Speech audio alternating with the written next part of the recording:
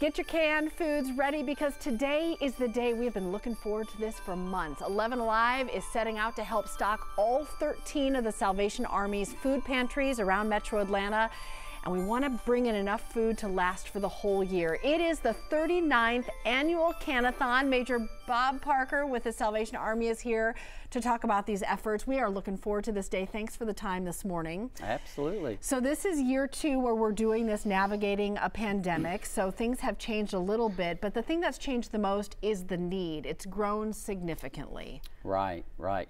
Well, food insecurity. Uh, it's been with us for a long time. It's certainly increased during the time of the pandemic.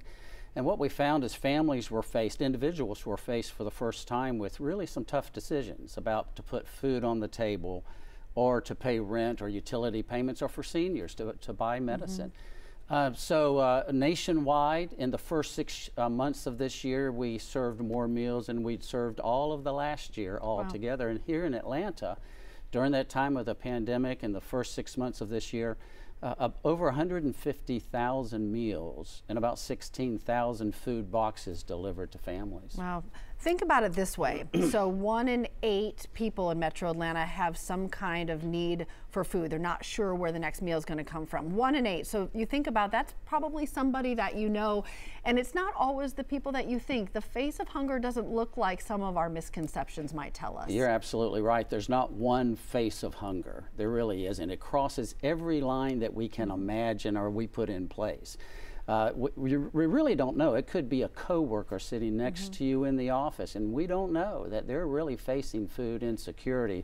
Certainly, children in schools, and that uh, so everyone it crosses every line. Yeah, we are doing a story earlier today about students, college students, graduate students. Yes. It just it reaches into so many parts of our communities, and then the community today can really fulfill that need. We talk about one can can make a difference. That really is true. Talk yeah, about how much those donations can make a difference difference and what you're looking for? Yeah, well, um, we have 13 food pantries around the metro Atlanta area, and they are providing food every week, every day for, for families. So you need a lot of cans and a lot of boxes to get out to families and to meet those needs. So one can makes a lot of difference uh, to a family and to an individual. It's very important. And we want to point out during the holidays, it's really top of mind. This is a 12 month, 365 day a year need that we can help fill today. Mm -hmm. And if people can't come and see us personally, they can still be part of the solution here. Absolutely. Uh, if, if come visit one of our three locations, we'll have fun. It's a it's just it's a great day. We're going to have yeah. beautiful weather, so that's going to be nice. Perfect.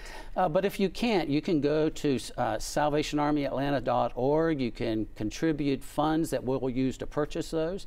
You can even go to Amazon and and go to Can-A-Thon and donate that way. So a lot of ways to participate and be a part of the solution. Yeah, just with your phone, you can do it just with the phone in Absolutely. your hand. And we're going to have a bank of volunteers answering calls today as well. So lots of ways you can be in part.